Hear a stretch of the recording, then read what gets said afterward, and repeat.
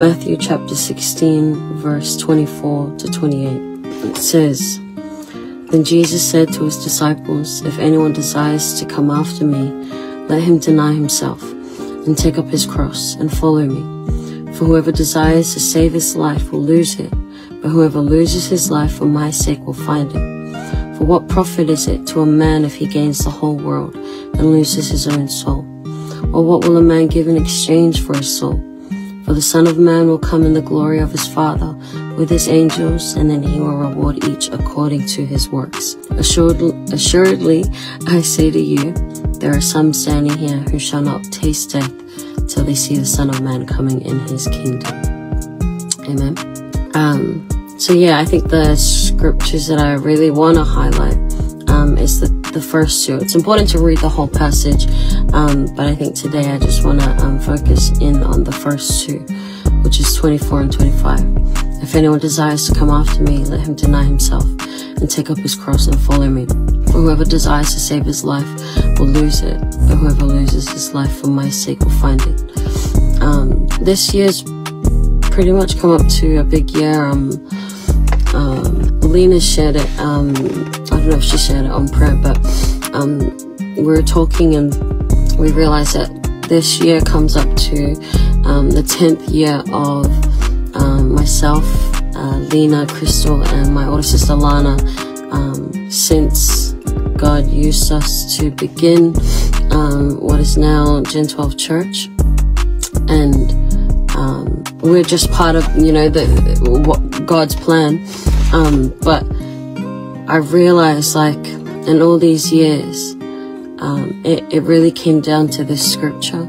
Um, what we were taught from our parents um, is that to serve God is to daily make the decision to lay down our lives, lay down our desires, lay down our wants and our dreams, um, lay down our lives, like our complete um, lives in surrender to God's will, um, to pick up our cross like every day and make a decision to follow Him. Um, and 10 years, like that's, I, I, think I don't really, I didn't really think of how much, um, like the weight of that until Lena was talking to me about it.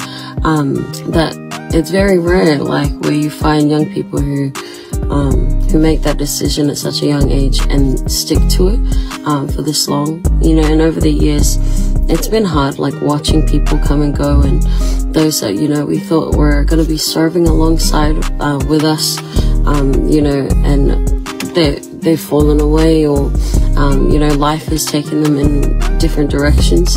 Um, but I'm I'm just so thankful that you know God in His grace has allowed us to serve Him in this way um, and that we were able to do it together. Um, but yeah, it really all boils down just to this scripture that if anyone desires to come after Him, let him deny himself and take up his cross and follow Him. Is that every day, the thing that produces stability in our walk as believers is this it's making the decision to die to yourself, making the choice to, to let go of our own will and ask God to fulfill His will um, through us and in our lives. They wonder how they bec can become stable in their walk. Um, they wonder how, like, oh, how can I be consistent in in my walk with God? It's this, like, there's no like shortcuts or special super secret. Like, it's deny yourself. It's surrender your will to God. It's pick up your cross every day. It's it's that it's it seems like you know this is so simple like but it's it's a hard decision but you have to make it every day that you wake up um, and that's a decision that I've made in my life. Well, I have failed and I have I've had my moments of, of weakness and, and even moments of turning away from God. But the thing that has kept me is remembering to lay down my life again, to bring it back to God um, and to deny myself what I want, what I, my own dreams and my own vision and plans for my life. Um, because God's plans for me have been greater than anything I could ever plan on my own. Um, and that's just a fact. Sorry, I'm, I'm going on and on, but I just really hope that that um, encourages you um, to deny yourself today, to lay your life before God and allow Him to use it um, for His will and for His purpose. Um, and that's as simple as it is. Like if you want stability in your walk, it's it's pick up your cross every day, follow Him, um, and, and let Him use you. Amen. Father, I just thank you so much, Lord God. I bless you and I honor you, Lord God. I thank you for your perfect plans, Lord. I thank you for who you are, Lord God. I just glorify you this morning. Um, as we come together in worship and we come together in prayer, um, we just surrender our lives to you today. I just thank you, Lord, for all that you're doing, for who you are, um, and just your sovereignty over our lives, Lord. May we not forget um, just how powerful and mighty you are, Lord God that everything that we face and we go through is so minuscule in your presence, Lord God. It's it's so little, Lord God, um, that there is nothing, Lord, that is too hard for you or too complex for you to understand or relate to, Lord God. You know all things. And Father, we honor you this morning. Lord, we commit our will, we commit our plans, Lord, we commit our day into your hands, and we ask that you would um, just let your will be done in us, Lord God.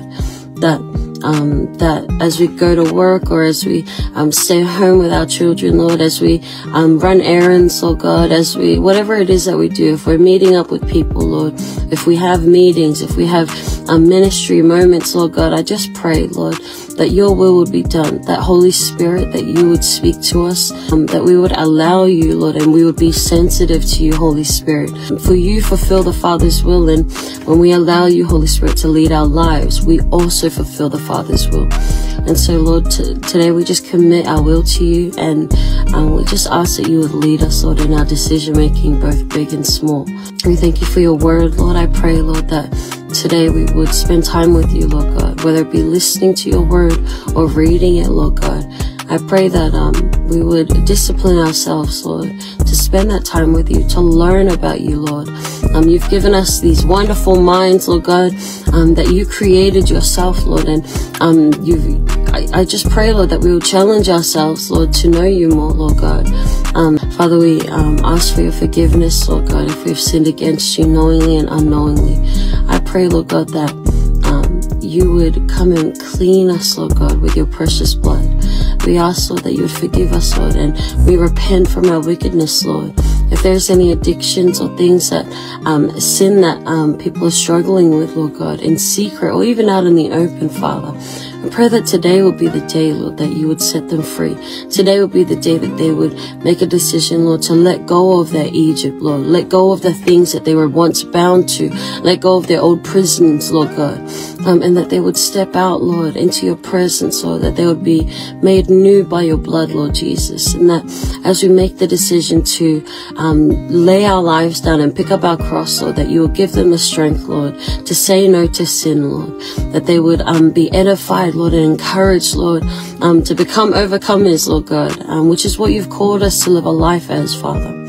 Um, I just thank you for their lives, Lord. Help us to forgive those who sin against us, Lord God, um, who have hurt us or wronged us in any way, um, just as you forgive us constantly, Lord God. We ask, Lord, that you would just have your way. We give you all the glory and the honor and the praise, Father. I bless you, Lord. There's nothing we need to worry about, Lord, for everything is in your hands, Lord. And your plans are so good, Lord, more than we could ever imagine or understand. And so today I pray that you would remove any worry from anyone who um, is stressing, Lord God, or have concerns. I pray that you would reveal yourself to them, Lord, as um, the provider, as the waymaker, Lord, as the one who is in control. So I give you all the glory and all the praise. In Jesus' name we pray. And everyone says,